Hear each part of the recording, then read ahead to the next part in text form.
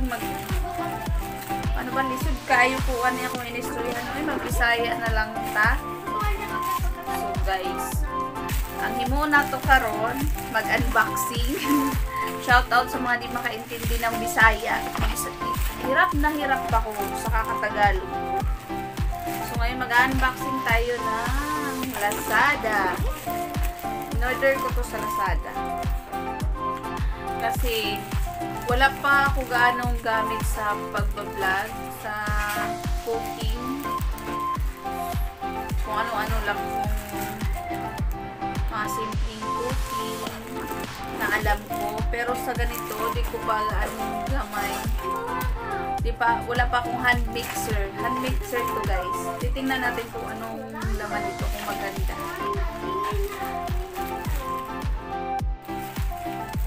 Matagal na itong dumating. Hindi ko pa nabubuksan dahil hindi ko pa rin naman siya nagagamit.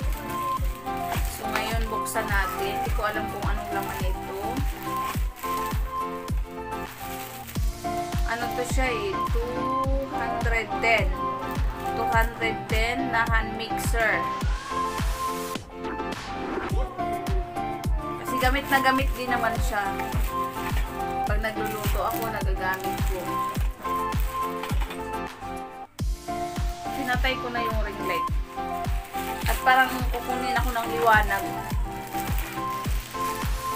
Huwag mag-ring light. Mag-natural tayo. Ayan, buksan na natin guys. Pwede pa rin. Sayang naman kasi yung plastic. Para maganda naman tingnan yung plastic. Baka plastic lang ang maganda na yan.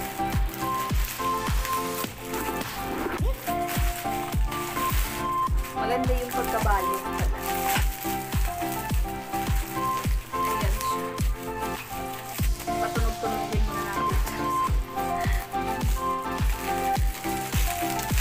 Tagal kasi dumating. Kailan ba dumating? Mga one week na dito pa binuksan. One week na siya. Hirap na hirap talaga akong magsalita ng Tagalog pag nag-vlog, nag-vlog, Bisaya accent. Parang gusto na akong mag-Bisaya. Shout out sa wala ka sabot sa Bisaya. Kasi, diba, nababash ka kasi nga pag nag-vlog ako, Bisaya accent.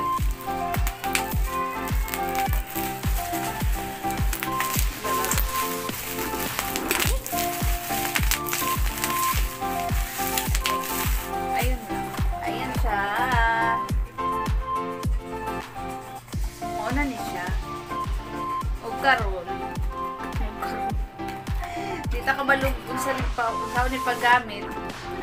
Kasi may na, mga napapanood kasi ako na nag-vlog na nagagamit sila ng di, di na kinukutsara na ginaganon-ganon. Diba? Eh, ganun lang sa di kuryente. Hand mixer. Wait. Sa, kasi tatlo yung, ano, dalawa.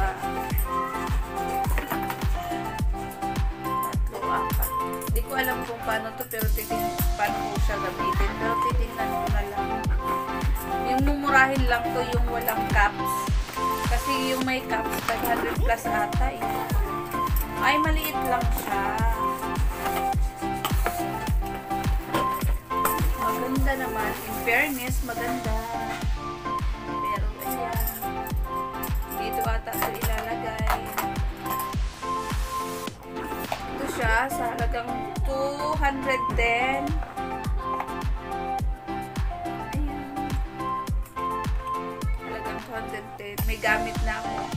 Unti-unti na ako nagkakagamit dahil sa pagbablog. Ay, kabayo ba? Paano ba ito ilala? Wala.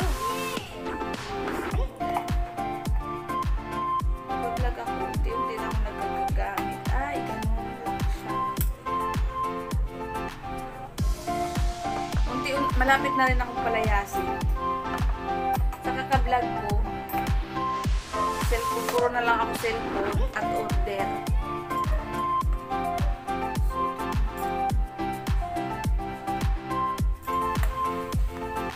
Habang di pa tayo pinapalayas.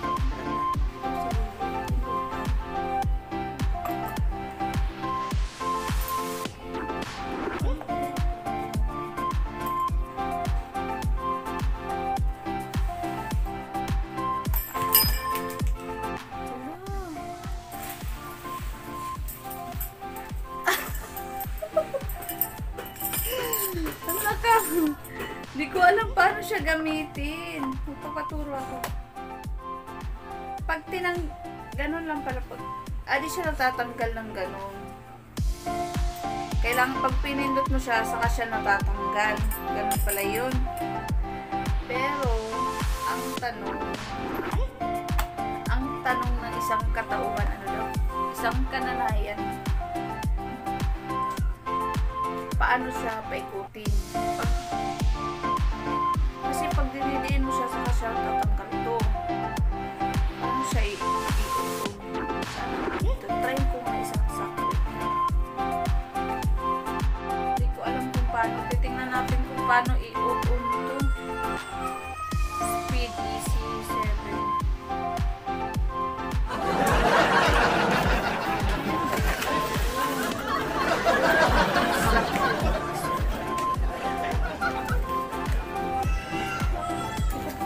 Paano to paikutin.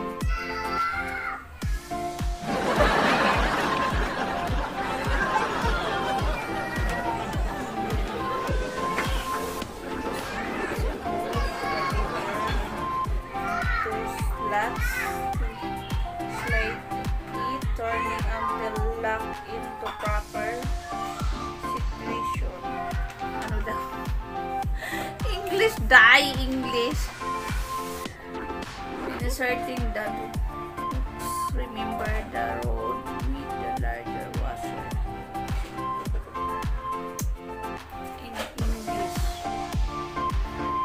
ang hinanap ko yung on at off, dito. Paano i-on? Kasi pag ito ang pinindot, tatanggal siya eh. Pag ito ang napindot.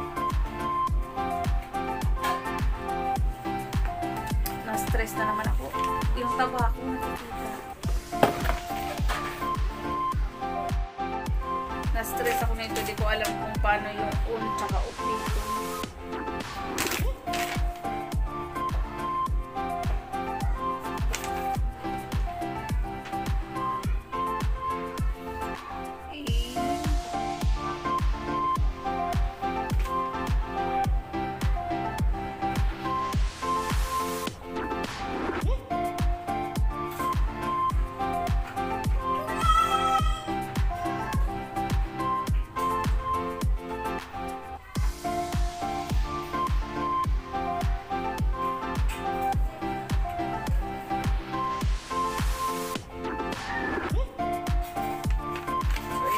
Dito na tayo, guys. Hanapin natin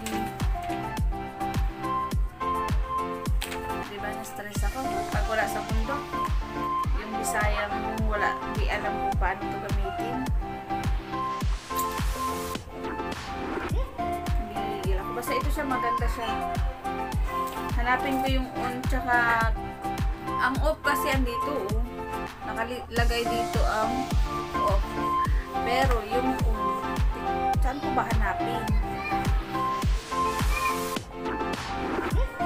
Automatic na kaya siya pag isaksak?